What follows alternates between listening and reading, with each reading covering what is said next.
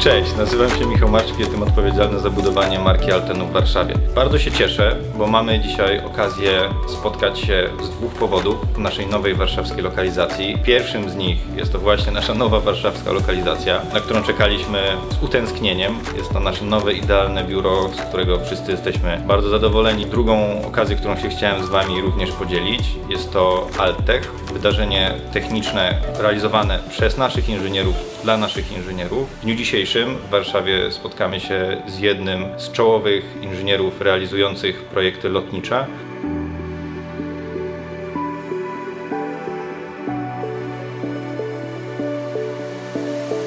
Cześć, nazywam się Paweł Rzepecki, a dzisiejszy Altek poświęcony był blockchainowi, który ułatwi nam oddanie zaufania aplikacjom cyfrowym.